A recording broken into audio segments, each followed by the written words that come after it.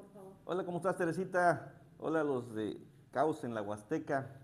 Saludos a todos. Enrique Guzmán Arroyo, su servidor, director de Seguridad Pública y Tránsito y Vialidad aquí en Tantoyuca. Eh, ingeniero, en el tema de vialidad, eh, pues, ¿qué proyectos se vienen para este año y en cuanto también en cuanto a, a los a la administración que encabeza el ingeniero Jesús Guzmán Avilés?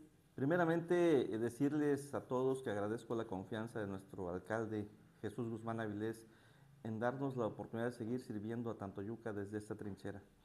Decirles que vamos a trabajar como lo hemos venido haciendo a diario, con toda la actitud, tratando de impulsar campañas que beneficien y mejoren la vialidad aquí en Tantoyuca. Pero sobre todo, la buena disposición de la gente que nos ha ayudado para que las propuestas que tengamos realmente siembren un precedente en Tantoyuca y generen una vialidad que nos haga sentir orgullosos. Necesitamos impulsar una cultura vial. Decirle, Teresita, que vamos a impulsar en los primeros meses de esta administración una campaña muy fuerte en cuanto a cultura vial se refiere, pero lo vamos a hacer de manera visual.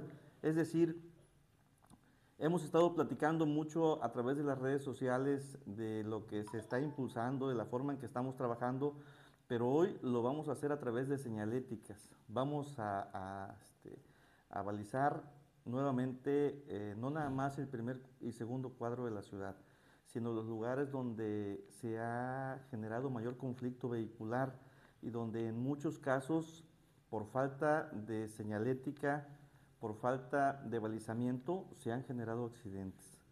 Quiero decirles que empezamos aquí con la calle Arista, aquí en Rastro Viejo, parte del Rastro Viejo, eh, de la colonia Rastro Viejo, había una, había una zona donde se generaron muchos accidentes en otros tiempos y hemos decidido eh,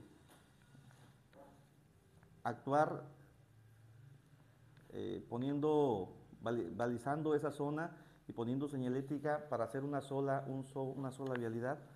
Anteriormente era doble circulación, hoy va a ser una sola circulación, se generó ahí una pequeña glorietita, pero eso creo que va a evitar accidentes. No vamos a esperarnos a que haya accidentes fatales, ha habido accidentes donde solo, solamente hemos tenido daños materiales y creo que es momento de actuar para no estarnos lamentando posteriormente. Además de este punto conflictivo, por decirlo de algún modo, ¿qué otros puntos estarían ustedes eh, pues colocando estos señalamientos? Mira, eh, lo estamos haciendo también sobre la Avenida Revolución. Eh, hay un tramo que es un poco riesgoso por la entrada y salida que tienen los amigos este, sobre esa avenida, pero principalmente en las zonas de mayor conflicto.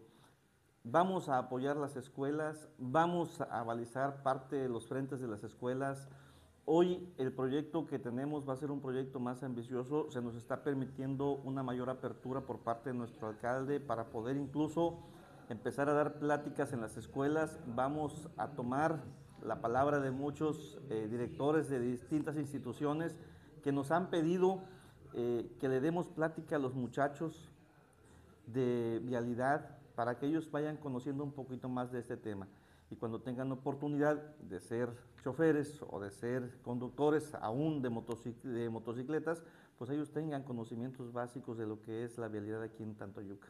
Eh, es importante decirlo, ¿no? Eh, en la pasada administración, donde también ustedes estaban eh, al cargo de la Delegación de Seguridad Pública y Tránsito Municipal, eh, se implementó el, casco, el operativo Casco Seguro. Hoy en día, ese operativo ya vemos menos accidentes eh, con pérdidas humanas en motociclistas, pero aunque todavía vemos accidentes en motociclistas, eh, ya vemos a más motociclistas con casco. Sin lugar a duda, Bruno, decirte que funcionó, que evitamos accidentes fatales.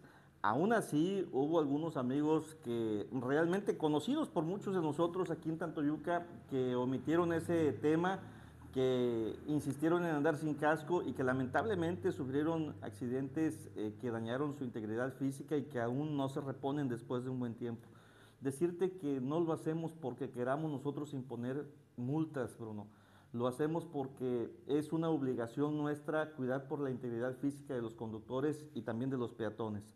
Por eso la insistencia de balizar las zonas centros, cuidando los pasos peatonales, los lugares para discapacitados, pero también, también impulsando el tema de seguridad en cuanto a usar casco obligatorio. La ley lo establece, la ley de tránsito del Estado y el reglamento de tránsito y habilidad municipal lo establece. Es una obligación del conductor usar casco. Él y su acompañante. Lamentablemente durante muchos años se dejó esto a garete y cada quien hacía lo que requería. Yo sí les quiero decir a todos los ciudadanos de Tantoyuca que hay reglas de urbanidad, que hay reglamentos de tránsito que debemos respetar para una mejor convivencia entre automovilistas y ciudadanos. Creo que si logramos poner un granito de arena entre todos, haremos realidad el hecho de que la seguridad es de todos y que la responsabilidad de la seguridad también es de todos.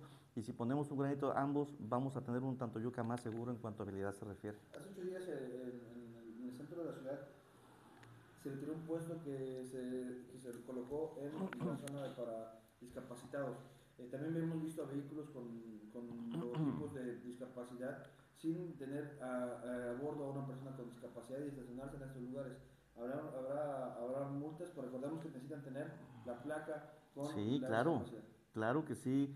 Mira, este Bruno, nuestros agentes eh, de tránsito, nuestros elementos de tránsito están siendo capacitados para que también a criterio de ellos podamos dar y apoyar a las personas que tienen discapacidad o son de capacidades diferentes, porque hay ciudadanos que traen vehículos que no traen la placa ni traen la tarjeta de circulación donde argumenta que son para servicio de personas con capacidades diferentes, pero que traen transportando a una persona con ese tipo de, de discapacidad. Y creo que es ahí donde tiene que haber criterio y decir, a ver, traes una persona embarazada, traes una persona ya muy adulta, de la tercera edad, traes una persona con capacidades diferentes, pues dale servicio, apóyalo, ayúdalo. Eso es lo que estamos haciendo y eso es lo que vamos a impulsar también en esta zona. Y bueno, pedirle a nuestros ciudadanos aquí de Tantoyuca, yo con honestidad les digo, no quisieran usar ustedes ese espacio de discapacidad, ese espacio destinado para nuestros amigos con capacidades diferentes. De verdad, yo no lo quiero hacer, porque es un espacio que tenemos para esas personas que también tienen derecho a poder circular en la zona, visitar la zona centro y tener un espacio donde estacionarse. Yo tengo un poquito más de posibilidades de moverme de estacionarme en otro lado y caminar un poco más. Ellos no. Ayúdenos para que las cosas sean diferentes y para que realmente tengamos entre todos una vialidad que nos haga sentir orgullosos.